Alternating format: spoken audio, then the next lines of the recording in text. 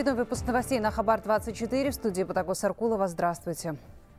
Работы приостановлены, вся техника простаивает. В ИТРАУ дорожные строители недовольны условиями труда. Со многими из них наниматели не составили договоры, а сейчас люди требуют повышения заработной платы и соблюдения законодательства. В конфликте разбирались наши корреспонденты в регионе. Претензий у рабочих к Атырау-Инжстрой накопилось немало. Люди возмущены низкой заработной платой. Причем низкая она не у всех, говорят дорожники. Одним платят меньше, другим необоснованно больше. Нет и трудовых договоров, которые обеспечивали бы им правовую защиту. Я работаю 4 года, все это время без контракта. В прошлом году буквально с боем удалось получить трудовой договор. Однако в нем сумма заработной платы не указана. И таких, как я, много. Если провести полную проверку, все нарушения всплывут.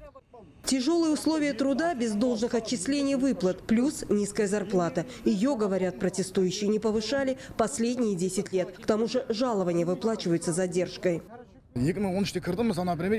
Я в компании с 2013 года, тогда была зарплата 180 тысяч, и сейчас ничего не изменилось. Бензин, хлеб, комуслуги, продукты, все подорожало в разы за это время. 180 тысяч тенге на жизнь никак не хватает.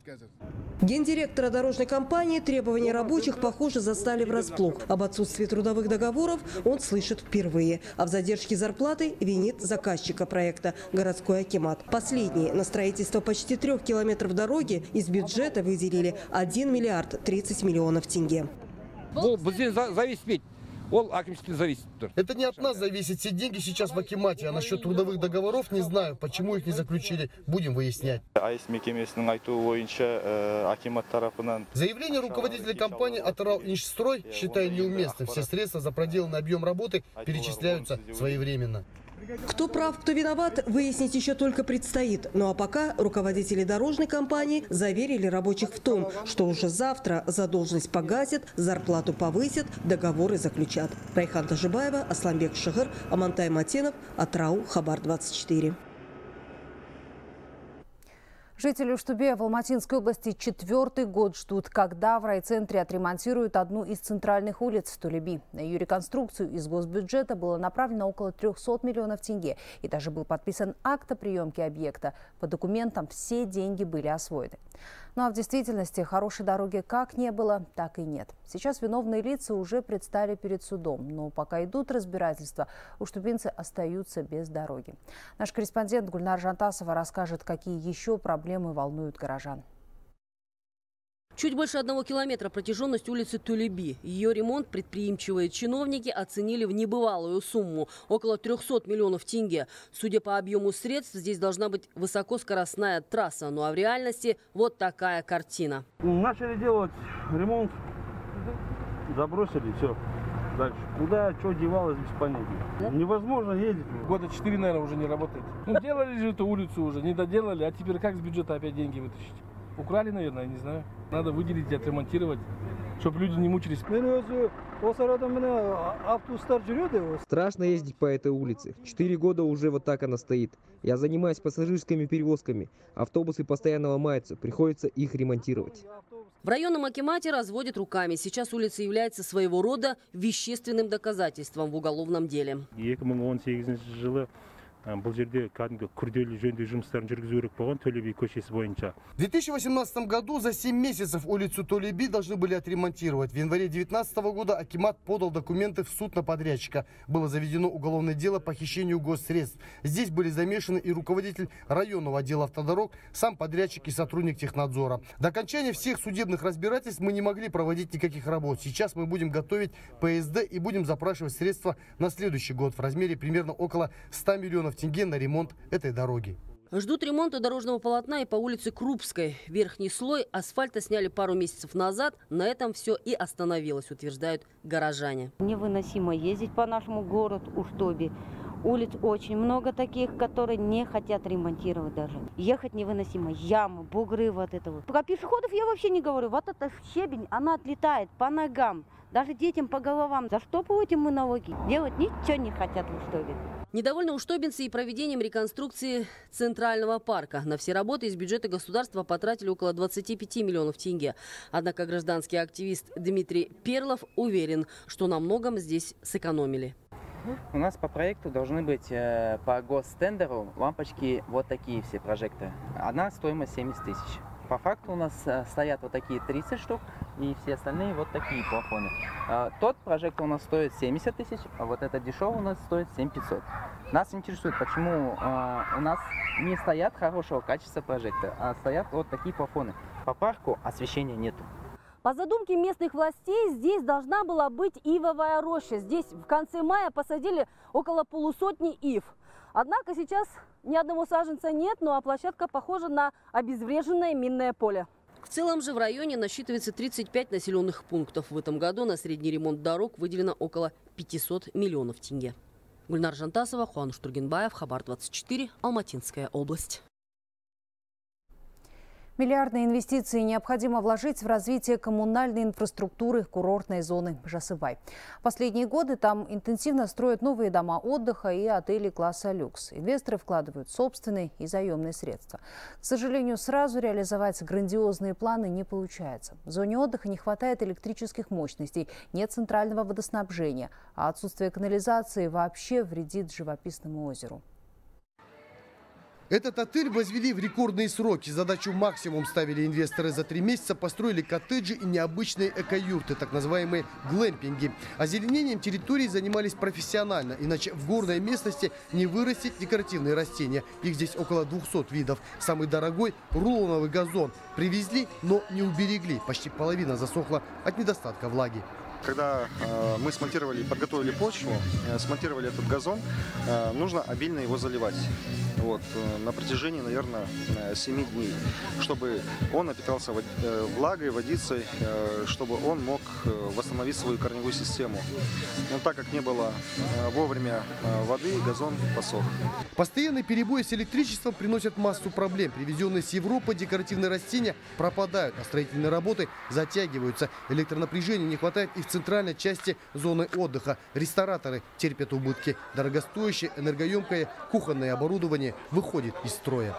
Буквально сегодня я выкинула, ну, пришлось утилизировать 14 килограмм стейков, 7 килограмм отборной баранины, потому что опять морозильники не тянут. Мы когда замерили, у нас, э, как он называется, мощность 178 ватт. Это же вообще с ума сойти.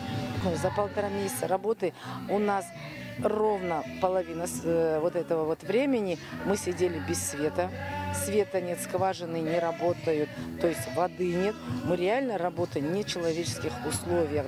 Исправить ситуацию планируют, нарастив энергомощности. Новая подстанция «Жасыбай» готова подать напряжение. Строительство линии электропередач тоже почти закончилось. После устранения названных дефектов энергетики проведут повторный осмотр. Если все окажется в порядке, то подадут заявку на ввод в работу ЛЭП и подстанции на испытательные 72 часа.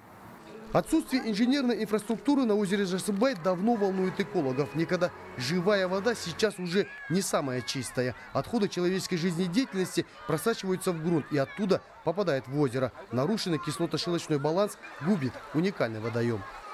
Это приводит к тому, что озеро заболачивается. Э, в нем появляются несвойственные для э, системы, для экосистемы, для биосистемы э, озера Жасыбай альгофлора, микрофлора и так далее. То есть нарушается сама, э, сама устой, само устойчивое существование э, этого озера Жасыбай. Местные власти не раз предлагали обустроить Жасыбай центральной канализацией и водоснабжением. Инвестиции миллиардные и под силу только республиканскому бюджету. Планы строили еще лет 10 назад, но ВОЗ и ныне там. Сейчас готовы лишь поддержать инвесторов подводом инженерной инфраструктуры к строящимся объектам, в том числе и на отель, засыхающим рулоновым газоном. Документов э, таких, по которым мы могли бы работать, э, у нас нету наличии. Только будут документы готовы, мы рады всегда э, помочь в финансировании инженерной коммуникационной инфраструктуры. То есть это подведение системы водоснабжения. И второе это электричество. То, что третье у них был вариант газификация, так как она э, предлагает, предполагает, вернее, строительство круглогодичного дома отдыха. В этом году в области разработали новую концепцию развития круглогодичного туризма. До 2025 года планируют обеспечить Джасыбай централизованной системой водоснабжения и отведения сточных вод. Идею Минэкологии уже поддержали. Сейчас вот таким атом Байнурского района ведется работа по подготовке бюджетной заявки для выделения денежных средств на разработку проектно-сметной документации. Это будет подводиться и водоснабжение, то есть чистая вода до всех домов отдыха, и также водоотведение. Все это будет централизованные канализационные стоки. Недавно жемчужину Баянаула посетили казахстанские вайнеры. Их удивила нетронутая красота чудотворного края. Говорят, беречь первозданную природу нужно сейчас. По сравнению с нашими другими парками, он не грязный, он очень хорошо выглядит сейчас. Но есть такие, такие звоночки маленькие, за которыми надо следить. Я вообще предлагал такие надписи поставить, типа «Спасибо маме за ваше воспитание», чтобы немножко человека задевало, чтобы он не выкинул баклажку, не выкинул. Спасибо за ваше это, спасибо, что оставили чистое место. Нет ни одной надписи такой мотивирующей. Число туристов на Жасыбае в пик сезона бьет все рекорды. Чтобы разгрузить озеро, предусмотрено строительство крупных домов отдыха на берегу соседнего озера Забандыколь. В ближайшее время берег обеспечат центральным водоснабжением и канализацией, сделав его привлекательным для инвесторов и туристов. Ербулабишев, Самат Аспанов, Марат Игликов из Павлодарской области. Хабар 24. Вне зоны доступа уже три года живут жильцы одного из столичных жилых комплексов. Звонки и сообщения они получают через раз, а о мобильном интернете уже и не мечтают. Особенно остро проблему они ощутили в прошлом году, когда остались буквально оторваны от внешнего мира. Из-за пандемии тогда практически все организации перешли на удаленку. Неоднократные жалобы вопрос пока не решили. С подробностями Анна Шолгина. Абонент временно недоступен. Чаще всего слышат те, кто пытается дозвониться Ертаю Дюсимбаеву. А про интернет и речи вести не стоит. В 2018 году он с семьей переехал в жилой комплекс «Шатер». И проблемы с сотовой связью начались буквально сразу. Сначала было хотя бы одно или два отделения антенны. Сейчас же телефон в квартире – вещь бесполезная. Близкий человек проходил э, собеседование в нацкомпанию и они э, сказали, что в очию не могут встретиться, что собеседование пройдет в режиме онлайн. И во время онлайн-собеседования э, три или четыре раза э, прерывалась связь интернет. И после этого не получилось с работой у человека. Проблема со связью с интернетом появилась с того момента, как мы заселились, как этот дом сдали. Чтобы решить проблему с перебоями связи и мобильным интернетом, здесь на крыше нужно установить базовую станцию. Для этого мобильным операторам нужно согласие как минимум 70% жильцов этой многоэтажки. Только тут начинается извечное противостояние тех, кто согласен на любые условия, лишь бы появилась хоть какая-то связь, и тех, кто уверен, что это устройство может нанести серьезный вред их здоровью. Асель Абдулина уверена, что ретрансляторы, установленные на крышах жилых домов, небезопасны для человека. Женщина говорит, для них нужны специальные вышки, хотя бы на небольшой дистанции от жилых домов. Предлагают, давайте ставить на ваши дома. Э, эти вышки. Ну, извините, во-первых, они опасны. Опасны для здоровья человека и детей тем более. Там определенные волны существуют, которые воздействуют на организм.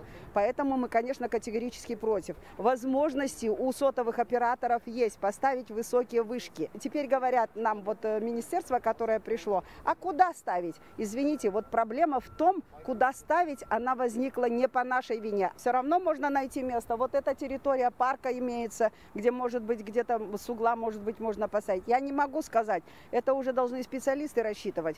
С жалобами на мобильную связь и интернет жильцы многоэтажки неоднократно обращались в профильное ведомство. В Государственной радиочастотной службе обещали провести замеры качества. Если они не будут соответствовать минимальным заявленным требованиям, операторов ждет штраф. В мае месяце утвердили минимальные пороги качества, качества э, интернета. Это по 4G это 5 мегабит в секунду и по 3G это 1 мегабит в секунду. В настоящее время замеры проводятся. По результатам замеров, если то есть качество покрытия э, от мобильных операторов будет меньше пороговых значений, то будет наложен соответствующий штраф и выдано соответствующее предписание. Штраф 100 МРП. Мы также считаем, что это неадекватный э, размер штрафа, ну, несоразмерен соответствующему как бы, административному правонарушению.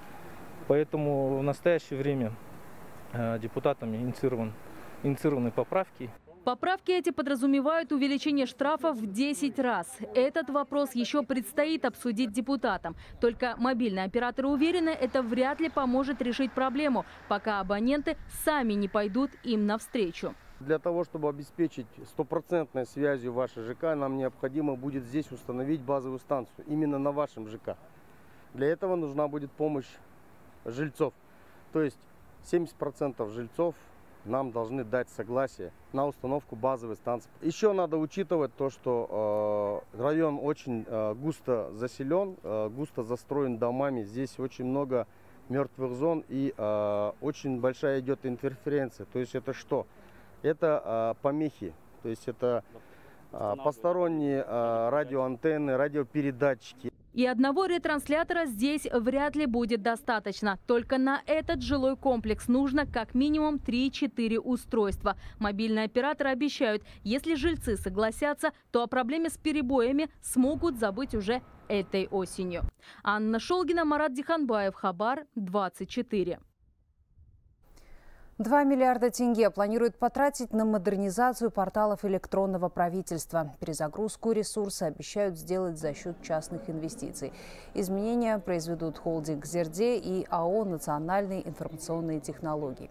Сайт Еговки Z обновится до конца года. Обещают, что он станет удобнее и проще в использовании. Кроме того, расширятся возможности поиска. Модернизацию также пройдут мобильное приложение Егов и портал электронного лицензирования. Спутник Лайт зарегистрировали в Казахстане. Эту информацию подтвердили в Минздраве, отметив, что вакцина является первым компонентом препарата «Спутник Ви». Ее эффективность составляет 79,4%, что превышает показатели многих двухкомпонентных вакцин. Напомню, «Спутник Лайт» стал четвертым препаратом от коронавируса, разработанным в России, и пятым одобренным для применения в Казахстане. Изначально его планировали применять в основном для ревакцинации или иммунизации ранее переболевших пациентов. И еще сегодня стало известно, что с компанией Pfizer достигнута предварительная договоренность на поставку вакцины в четвертом квартале этого года. Очередной рост числа заболевших и вновь туманные перспективы. Предприниматели Алматы опасаются новых ограничений. После первого локдауна многие были вынуждены закрыться. Из пяти тысяч кафе и ресторанов не открылись около половины. Бизнесмены встревожены слухами об ужесточении карантинных мер. Анастасия Валикжанина продолжит тему. Месяц назад Ирина Лебедева запустила новый ресторан в Алматы. Здесь все как положено. Персонал вакцинирован, а на входе статус гостей проверяют с помощью системы АШИК. Пока заведение может работать до двух часов ночи при заполняемости не более 50%. Ирина думала, что самые тяжелые времена уже позади, но не тут-то было. Поползли слухи, что со дня на день крупный мегаполис заживет по новому постановлению, в котором работу общепита сократят до 8 часов вечера. Такой поворот событий полностью разрушит все планы Ирины. Тем более, что меню заведения заведения не позволяет перестроиться на доставку. У меня десерт Павлова, 15 сантиметров, воздушные крылья из безе. Мне отдельно людей с крыльями присылать, отдельно с десертом? Или, или человеку каждый раз дарить тарелку? Нет. На доставку может э, перестроиться тот ресторатор, у которого есть меню. В меню то, что он может упаковать, и внешний вид не пострадает. А у многих кафе, они же делают меню сейчас необыкновенные. До пандемии в Алматы было около пяти тысяч заведений общественного питания. По словам рестораторов, почти половина ушла с рынка навсегда. А один из предпринимателей вынужден был закрыть сеть из 27 заведений.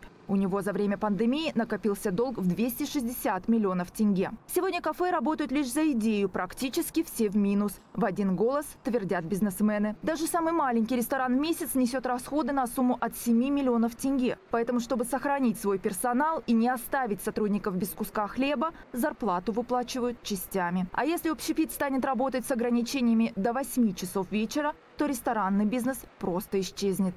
Мы требуем то, чтобы оставили нас, которые работаем по ШИКу, нас, которые работаем в рамках прописанных санитарных норм, нас, которые э, провакцинировали персонал практически на уровне 100%, оставить нас работать без каких-либо изменений, которые сейчас имеются, и вообще с нас снять все ограничения по режиму работы.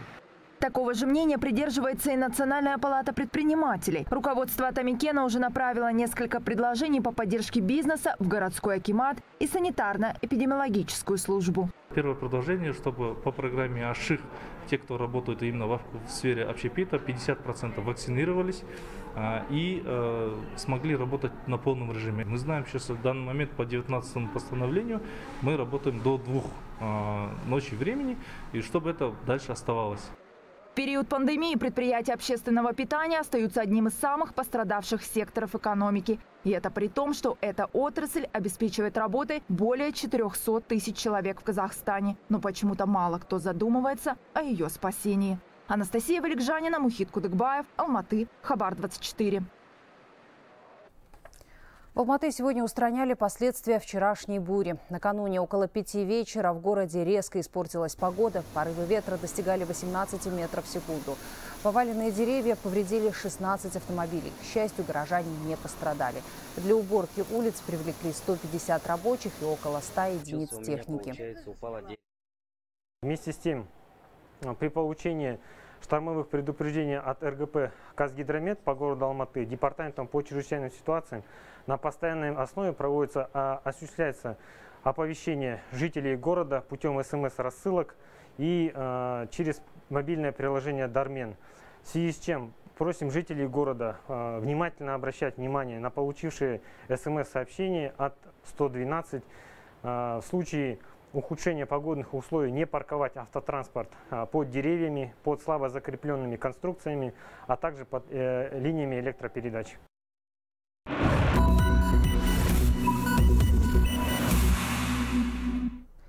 Предстоящим выборам сельского акима готовятся в ауле Карнак в пригороде Кентау. На этот пост претендуют четыре кандидата. Все они из числа местных жителей. Трое от партии и один самовыдвиженец. В ауле проживают более 15 тысяч человек. В голосовании примут участие свыше 8 тысяч избирателей. В день выборов работать будут пять участков. Сейчас идет подготовка. Президентіміздің по предложению нашего президента впервые состоятся выборы сельских акимов. Все кандидаты – выходцы из нашего аула. К важному событию мы готовимся со всей ответственностью. Юрта – символ нашего дома, нашего единства. Здесь мы собрались, чтобы дружно провести выборы. На всех участках созданы избирательные комиссии, подготовительные работы завершены. Кандидаты начали агитационную кампанию. Они встречаются с населением, представляют избирателям свою предвыборную программу. В целом по области на место одного сельского акима претендуют семь человек. Большинство кандидатов в селе Куркелес Рогажского района. Территориальная избирательная комиссия зарегистрировала 214 претендентов. Из них 84 от политических партий, 130 самовыдвиженцы. По объективным причинам документы 71 человека были отозваны. Среди желающих возглавить округа 10 женщин. А в Жамбылской области для участия в выборах сельских хакимов зарегистрированы 116 кандидатов. Из них 42 самовыдвиженцы, остальные от политических партий. Это работники бюджетной сферы, сельского хозяйства, коммерческих структур, госслужащие и временно неработающие. Средний возраст кандидатов – 39 лет. В 38 сельских округах работают 89 участковых избирательных комиссий. Уже определены графики и место проведения встреч с кандидатами. Для размещения агитматериалов определено 96 мест. По избирательным участкам 90% мы считаем, что они подготовлены. Э, почему 10% еще не подготовлены? Еще мы не завезли э, для слабовидящих вот лупа, так, для тех, которые плохо слышат специальную аппаратуру, они уже выкуплены. Буквально вот в субботу все председатели районных избирательных комиссий приедут и заберут. Остальное все готово.